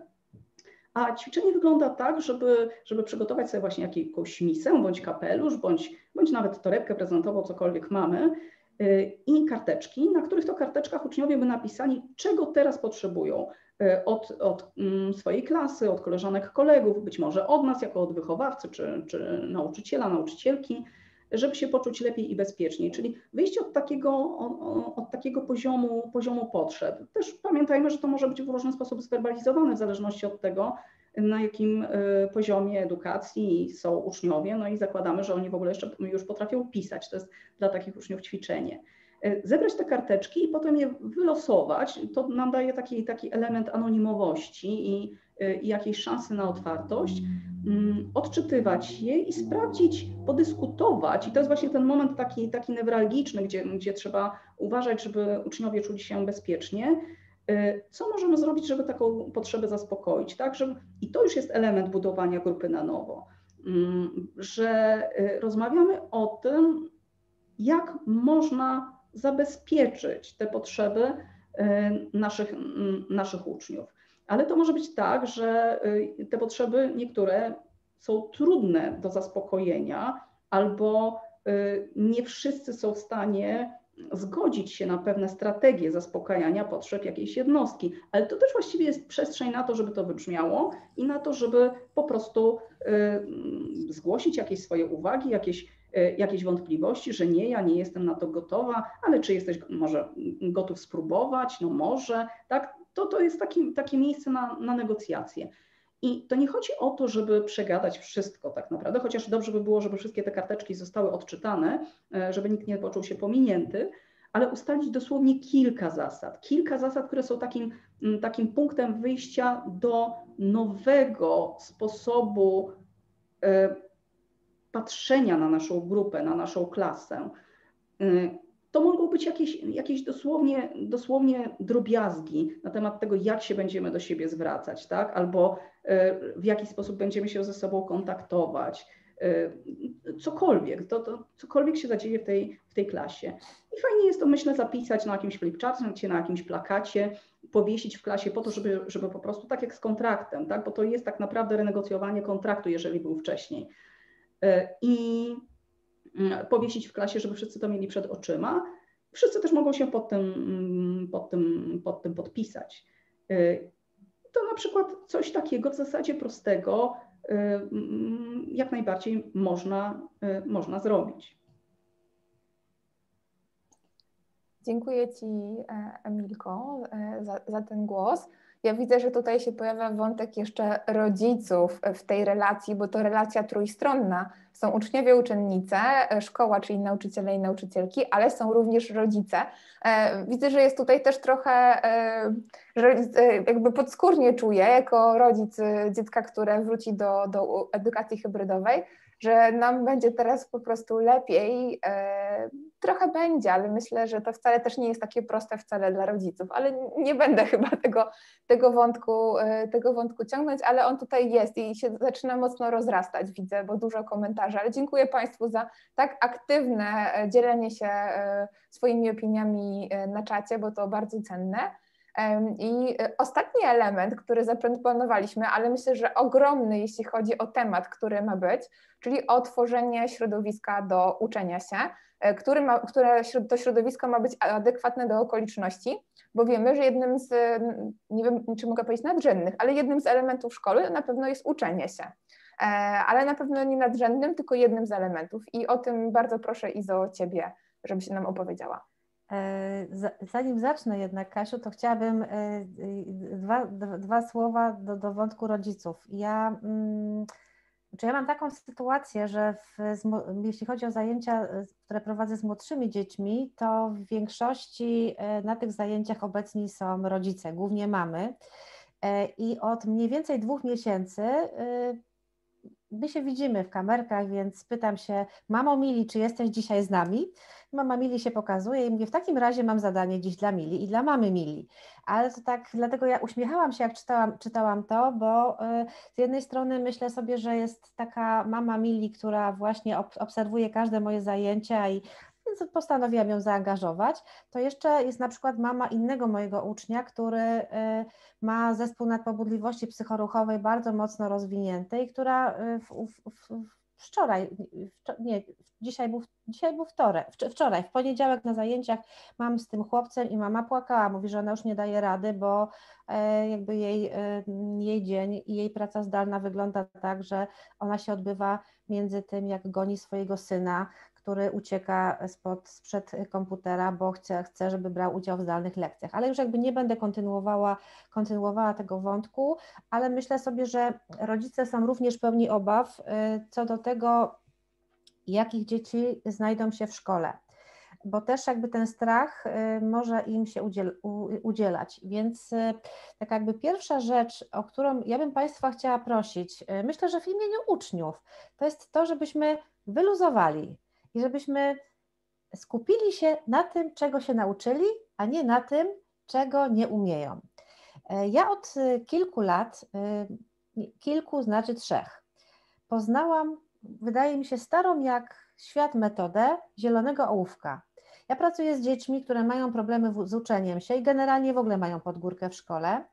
Więc jeśli ja chcę, żeby one były zmotywowane, to nie mogę, nie mogę E, wyłapywać ich błędów, tylko muszę budować na zasobach. Metoda zielonego ołówka, jak ktoś e, być może, jak Państwo być może wiecie, polega na tym, że zakreślamy zielonym ołówkiem czy zieloną kredką, ja mam specjalny zielony długopis, zakreślam to, co uczeń zrobi dobrze i napisze poprawnie.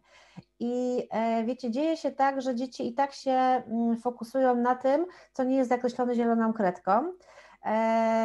I e, no to mi pokazuje, jak, o, jaki, jaki jest duży jakby lęk w nich, jak, jak jest mocno wdrukowane to, że rzeczywiście my nauczyciele poprawiamy ich błędy, najczęściej na czerwono. Napis powiedziałabym Państwu i sobie, ja na szczęście ja jestem szczęśliwy człowiek, bo ja nie muszę stawiać ocen, ja pracuję tylko z informacją zwrotną, e, więc e, chciałabym Państwa zachęcić do tego, żeby nie szaleć ze stawianiem ocen, bo teraz moje koleżanki mówią tak, no to teraz oni przyjdą. E, I jak już na, tych, na tym test portalu oni oszukiwali, albo na tych quizisach, bo mieli tam po dwa monitory, albo przesyłali sobie screeny, albo robili sobie zdjęcia e, swoich ekranów i sobie przesyłali, myślę sobie, że oni nas zawsze przechytrzą, naprawdę. I że to chyba nie chodzi o zabawę w kotkę i myszkę. I teraz ta moja koleżanka mówi tak, to teraz ja zrobię taką prawdziwą klasówkę.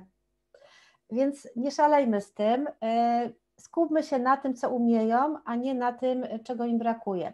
Ja jestem, ponieważ ja, ja, pracuję tylko z informacją zwrotną, czyli z taką czteroelementową informacją zwrotną, która wskazuje, e, wskazuje zaczynamy od wskazania tego, co uczeń czy uczennica zrobili dobrze. Oczywiście e, w obrębie kryteriów sukcesu, na, na które się umówiliśmy. Drugą Drugą, drugim takim elementem informacji zwrotnej e, jest, y, jest jakby wskazanie uczniowi tego, co powinien poprawić, znaczy no, tych tak zwanych błędów, e, albo tego, czego po prostu w tej pracy nie ma. I kolejne dwa elementy a właściwie chyba nie, nie, najważniejsze to wskazówka, jak mają te błędy poprawić. Nie napisać, jeśli uczeń popełnił błędy ortograficzne, ćwicz ortografię, bo to dla ucznia e, po prostu nic nie znaczy. Jak on ma konkretnie to zrobić, żeby on e, tej ortografii się nauczył.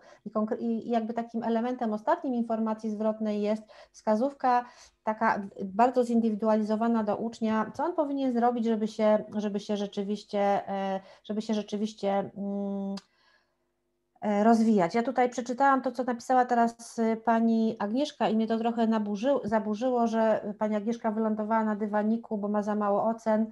No jakby kluczowa, to znaczy nie wiem, czy kluczowa, ale bardzo ważna tutaj jest rola dyrektora i e, no jakby ja, my, my, tego myślę nie przejdziemy. Myślę, że w obrębie tego, te, tego jakby jak funkcjonuje nasza szkoła powinniśmy robić to, co, co jest w zgodzie z nami i co, co jakby wspiera, wspiera mm, naszych pracuj w parach i grupach, y, mm, no bo dzięki tej pracy w parach i grupach oni po pierwsze y, odbudowują sobie, czy uczą się ponownie, czy uczą się powtórnie, czy uczą się na nowo, czy rozwijają, y, rozwijają umiejętność budowania komunikacji interpersonalnej, relacji, ale też praca w parach uważam jest dlatego dobra, że w momencie, kiedy jakiś uczeń czuje się niepewny w tym, co, e, co, co mówi, albo w, w, rozwiązaniu zadania, które podał, to zawsze jakby ma tego kolegę czy tam koleżankę, z którą może się skonsultować i może się upewnić e, lub może zmienić e, zdanie. Byłam kiedyś na takiej lekcji w szkole podstawowej numer 15 w Gorzowie Wielkopolskim. To była lekcja, którą zapamiętam na całe życie. Nauczycielka tej szkoły w tej chwili już, y, y, to była edukacja wczesnoszkolna, w tej chwili ta nauczycielka została dyrektorem szkoły terapeutycznej dla uczniów z autyzmem też w Gorzowie. I widziałam taką lekcję, gdzie uczniowie um, podsumowując to, tą lekcję, mówili dokładnie, co, z czego są, czego sobie gratulują i czego nie umie, i, i jakby co, co, czego się jeszcze powinni nauczyć. I wypowiadali takie zdanie, że e, muszę, y, muszę, czy powinienem skorzystać ze wsparcia koleżeńskiego. Ja tak mówię, że to jest takie wyreżyserowane, co oni mówią. I okazało się, że w tej, w tej klasie funkcjonują takie zespoły, które po prostu sobie wzajemnie pomagają. I wiecie, dzieci same w klasie trzeciej szkoły podstawowej oceniły, że powinny się tam zwrócić. Dla mnie to jest wielki sukces tych dzieci, ale przede wszystkim sukces nauczycielki, która doprowadziła do e, takiej sytuacji. E, więc co stoi na przeszkodzie, żeby zapytać uczniów, czy dla nich by to było w porządku, żeby jeśli ktoś ma jakieś e, zaległości albo ktoś czegoś nie potrafi, czegoś nie rozumie, a boi się ujawnić tego przed nauczycielką czy nauczycielem, że może skorzystać z takiego wsparcia koleżeńskiego, a to te, te osoby, które tego wsparcia udzielają, przecież można zawsze zmotywować w jakiś sposób, docenić też ich y, wkład w pracy.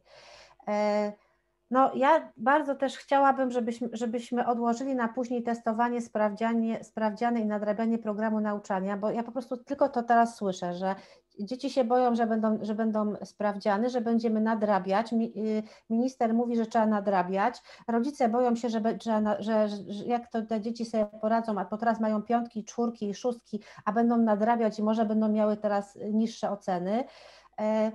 I to jakby chciałabym, żebyśmy troszkę tego powietrza spuścili z, i z siebie i y, jakby nie, mm, jakby nie czuli takiej presji, no jakby kto nam każe nadrabiać, no to my decydujemy w jaki sposób, y, w jaki sposób pracujemy z dziećmi, y, w jaki sposób realizujemy podstawę programową, jakimi metodami pracujemy. A myśląc o tym, co też pisaliśmy, pisaliście Państwo wcześniej na czacie, że jakby uczennice i uczniowie nie wiem czy to na czacie, czy ja to czytałam w takich badaniach, które, które szkoła z klasą opublikowała, że 46% nauczycieli, chyba nie pomyliłam tego wyniku, e, obawia się, że ich uczniowie wrócą e, z taką nieumiejętnością albo trudnością w budowaniu relacji, która się stała jakby efektem nauczania zdalnego. No więc jeśli tyle, tylu z nas to mówi, to e, zajmijmy się tym, co tak naprawdę w tej chwili jest podstawowe i najważniejsze. Poproszę kolejny slajd. Mm, ja nie jestem przedmiotowcem, ale wiem, że wiem, że podręczniki podstawa programowa nie zawsze są ze sobą spójne. Znaczy nie chcę mówić, że w podręcznikach jest coś e, niezgodnego z podstawą programową, ale poprawcie mnie, jeśli mówię nieprawdę te, które oglądałam i, i, porównywałam je z zapisami w podstawie, e, okazywało się, że są tam rzeczy, których w podstawie nie było, albo one są rozszerzone. W związku z tym e, to po naszej stronie e, leży wybór tych treści, które są najbardziej w stanie zainteresować uczniów i zaangażować je w naukę. Może troszkę zmieńmy, zmieńmy swój kolejność realizowania po prostu tych tych rzeczy wpisanych w program nauczania. Ja uwielbiam wybór, który daje, ja, ja jestem w ogóle taką osobą, która jako uczennica była podobno bardzo buntownicza i jak ktoś mi mówi musisz, powinnaś, to ja na to bardzo źle reagowałam. Jak było na, było na przykład, mama mi to mówiła, że jak był na przykład zakaz wchodzenia na trawniki, to ja natychmiast chciałam tam wejść. Ja bardzo dobrze rozumiem takich uczniów i myślę, że takim uczniom, ale też wszystkim innym bardzo dobrze robi wybór. Więc e, kiedy ja na przykład z nimi pracuję tą metodą sprawności, o której mówiłam, to kiedy mamy, nie wiem, cztery kryteria sukcesu do sprawności i one nie, jakby nie wynikają jedno z drugiego, to ja mówię, słuchajcie, no to teraz zdecydujmy, od, zdecydujcie, od którego, od którego kryterium chcecie zacząć, tak? I to, to, to już jakby jest wybór. Praca domowa do wyboru. Ja nie zadaję, znaczy nie zadawałam, nie, nie powinnam powiedzieć, nie zadaję swoim uczennicom i uczniom pracy domowej, natomiast y, spróbowałam, bo tak słyszałam, y, tyle rekomendacji słyszałam od nauczycielek i nauczycieli, którzy stosują pracę domową do wyboru. I, e, i e, oni mówili, że w momencie, kiedy da się uczniom wybór także w tym obszarze, to oni czasem wykonują nie tylko to jedno podstawowe zadanie, ale wykonują, e, wykonują też więcej niż jedno, a kolejnym krokiem jest to, że czasami sami wybierają sobie pracę domową. No, Kolejna, kolejna rzecz, o którą chciałabym Państwa poprosić, to jest to, żebyśmy no, zaakceptowali sytuację, czyli no, najprawdopodobniej tak jest, że uczniowie i uczennice umieją mniej. No tak jest. No i teraz zastanówmy się wspólnie, co z tym zrobić, jak, jak, to, jak, to, jak to zaplanować. Kiedyś mm, słuchałam reportażu e, w, w pewnym radiu i tam w tym radiu występował nauczyciel, który pracował w jakiejś, nie pamiętam gdzie ta szkoła się znajdowała, niepubliczna i powiedział, że u nich w szkole uczniowie w klasach edukacji wczesnoszkolnej mają podstawę programową zwizualizowaną w postaci drzewa i na każdej gałęzi mają jakąś umiejętność, czy jakiś tam, y, czy, czy wiedzę, którą oni mają zdobyć i oni jakby zdobywają ją w swoim tempie i jak ją już zdobędą, to sobie to tam na tym drzewie, na tym drzewie odhaczają. Więc może, y, może, może fajnie jest zrobić z uczennicami, uczniami takie drzewo tego, co już, te, tego, co, co jakby powinni umieć, a co już umieją i jakby wspólnie zdecydować, w jaki sposób, e, w jaki sposób doprowadzić do tego, żeby jednak umieli to, co powinni, powinni umieć, pamiętając, że jest jeszcze na to trochę czasu. E, ktoś pisał tutaj e, na mm, czacie wcześniej o, o umożliwianiu uczniom popełniania błędów. To jest jakby dla mnie też bardzo ważny obszar i ja mm, i myślę sobie, że to jest bardzo ważne dawać akceptację do uczniów, dla uczniowskiego błędu. Kiedyś y, myślałam, że ja daję, e, a potem byłam na takim, y, oglądałam takie wystąpienie z konferencji Aleksandra Pawlickiego, który mówił o pracy z błędem i ja wtedy po, po nim niestety moja dobra samoocena się zmieniła. Pomyślałam sobie, że ja uczniów swoich wyręczam i wcale im nie daję. Teraz, y, teraz staram się, żeby było trochę inaczej i e, dla mnie taką dewizą jest to, co powiedział e, Alfred, Alfred Adler, błąd to jest znakomita okazja, żeby się czegoś nauczyć. Wiecie, dzieci, z którymi ja pracuję, oni w większości e, nie chcą ujawniać swoich błędów, bo mają takie doświadczenia z procesu edukacji, że e, nauczyli się kompensować, czyli jakby troszkę się przyczajać i pokazywać to, co umieją, a tego, czego nie umieją chować, bo nic ich dobrego za to nie spotyka, jeśli się z tym ujawnią. I nie mówię tylko o nas, nauczycielach, ale także mówię o tym, jak rodzice do tego podchodzą. Więc e, mm, jak moje, moje dzieci popełnią błąd, to ja mówię, super, super, popełniłeś błąd, to teraz czego dzięki temu możemy się wszyscy nauczyć? Ale to jest proces, który z moimi dziećmi e, trwa około dwóch lat i dalej niektórzy boją się popełniać błędów. E, więc bardzo Was zachęcam, e, ale jeszcze chcę powiedzieć o jednej rzeczy. Jeśli zachęcamy uczniów do pracy z błędem, znaczy do, do popełniania błędów, to dajmy sobie też prawo do błędu. My nie jesteśmy alfą i omegą. Przecież możemy się pomylić, możemy czegoś nie wiedzieć. Ja wielu rzeczy nie wiem. Jak oni mnie o coś pytają, to ja mówię, no no po prostu nie wiem, obiecuję, że to sprawdzę, albo może jeśli chcesz, to możesz sprawdzić to za mnie, ale jeśli obiecam, że sprawdzę, to sprawdzę. I oni dzięki temu wiedzą, że dorośli też popełniają błędy. No jakby też, nie wiem, czy to jest, czy to jest coś, co powinna mówić, czy nie, ale e, mam e, taką dziewczynkę, której imienia e, z uporem maniaka mam Emile i Mile na zajęciach, dwie dziewczynki. I ta Emilka też zdradnia się, że jest Mila Więc żeby je rozróżnić i żeby każda się czuła traktowana osobiście, mówię do jednej Mila, do drugiej Emilka, ale jakoś pomyliło mi się i powiedziałam kilka razy do Mili, do, do Mili Emilka. I ona już widziałam, że bardzo się denerwuje. Widziałam w kamerze, że już ma już złą minę. Ja mówię, Mila, jak jeszcze raz się pomylę, to umówmy się, że dasz mi jakieś zadanie do, do wykonania, jakiś karny jeżyk. No i pomyliłam się i Mila mówi tak, no to dobrze Pani Izo, 10 pajacyków. No i zrobiłam te 10 pajacyków, tak? Więc też jakby mówię o tym w takim kontekście, żeby też mieć do siebie taki dystans i żeby też, y, ja się na przykład nie, nie wstydzę przeprosić dzieci, jak coś zrobię złego. Wiem, że, wiem, że dorośli mają czasem z tym problem, żeby się przyznać do, do swojego błędu. Ja potrzebowałam czasu, żeby, żebym się z tego nauczyła. I tak myślę sobie, bo Milka pracuje 27 lat w szkole, ja pracuję 26 rok teraz i myślę sobie, że im dłużej pracuję, tym mam do siebie większy dystans, nie wiem, e, nie wiem, czego, nie, nie wiem od czego to e, za, zależy. I tak, i chcę jeszcze powiedzieć na koniec, żebyście Państwo wierzyli w siebie, w swoje kompetencje, w swoje możliwości i w to, że jesteście specjalistami że to nie przez przypadek zostaliście nauczycielami i nauczycielkami, tylko że macie rzeczywiście takie, e, takie kompetencje i żebyście zawierzyli swojej intuicji, swojemu doświadczeniu i temu, y, co myślicie o tym, co będzie najlepsze dla uczniów. I tego się po prostu trzymajcie. Dziękuję. Brzmiało, Izo, jak e, pierwsze podsumowanie. E, I to podsumowanie myślę, że Emilce się ten, też należy. Państwo tego nie widzieli, ale jak padło stwierdzenie o miejscu na, na błędy, również nauczycielskie, to Emilka wysyłała serduszka. Prezentacja to zakryła, nie, nie było tego widać, więc Emilio, głos dla Ciebie, absolutnie. E, tak, bo ja jestem cały czas z tym, z tym zdaniem pani Diany, że, że nie jesteśmy nauczeni mówić o, o swoich słabościach. E, ale no właśnie, jesteśmy ludźmi i, i, pracujemy z ludźmi, i to dokładnie o to chodzi, żeby, żeby być całego tego bogactwa i całego tego, e, tego obciążenia z tym związanego, z tym, że jesteśmy ludźmi po prostu, po prostu świadomi. E, I ja sobie zupełnie nie wyobrażam, jak można pracować z błędem, jednocześnie nie dopuszczając do swoich własnych błędów, ale też przyznaję Ci Izo dokładnie to samo, że, że ja do tego dochodziłam przez te 27 lat, to, to, to, to, to jest taki proces.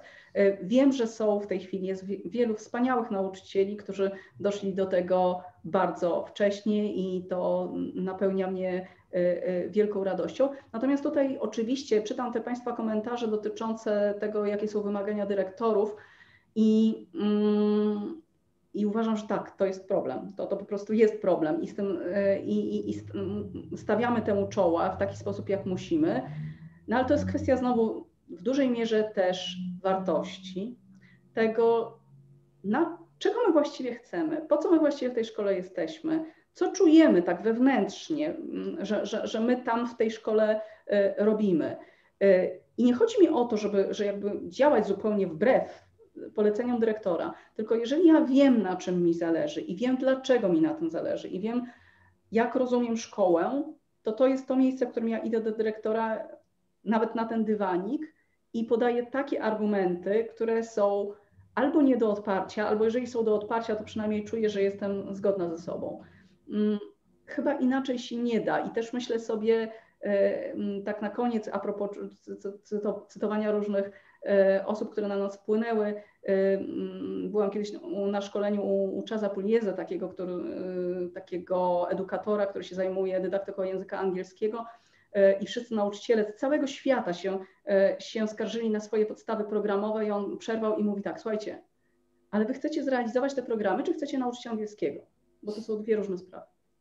No i tym optymistycznym akcentem właściwie chciałam zakończyć. E, to jeszcze jest nie koniec, e, ponieważ e, w obowiązku moim i też przyjemności jest powiedzieć Państwu, że otwarte webinaria to nie wszystko, co jest w ofercie CEO zawsze podczas roku szkolnego, ale również pomiędzy, więc zawsze mogą Państwo zainteresować się naszymi obszarami programowymi, pomagaj się uczyć. Myślę, że ten wątek dzisiaj tutaj był bardzo obecny, ale też ucz otwartości, angażuj obywatelsko, odpowiadaj na globalne wyzwania otwieraj na kulturę, wyjaśniaj politykę. Myślę, że mogą też Państwo zainteresować się warsztatami dla rad pedagogicznych, ponieważ obecna tutaj Iza jest autorką takich warsztatów i też ten element właśnie reintegracji klasy na takich warsztatach się pojawia, więc jeżeli Państwo są zainteresowani, to taka oferta jest dostępna. Oczywiście należy to przekazać tym owym dyrektorom, o których dzisiaj już rozmawialiśmy, że oni podejmują te, te ważne wszystkie decyzje. I oczywiście mam nadzieję, że wszyscy zapisali sobie link do zaświadczeń, pobiorą owe zaświadczenia e, i będą z tego powodu zadowoleni i nie będzie to budziło w nich frustracji. E, Izo, Emilko, bardzo Wam dziękuję za dzisiejsze spotkanie. Dziękujemy również Tomkowi, który musiał dyskretnie, ale opuścić nasze spotkanie, ale mam nadzieję, że jego głos był, wybrzmiał na początku bardzo silnie, a Wy podbiłyście treści, które on prezentował. Robię Wam miejsce, żebyście powiedziały do widzenia. Może to nie wybrzmiało, ale tak robię. Do widzenia. Dziękujemy bardzo serdecznie Państwu za obecność. Do widzenia. Dziękujemy.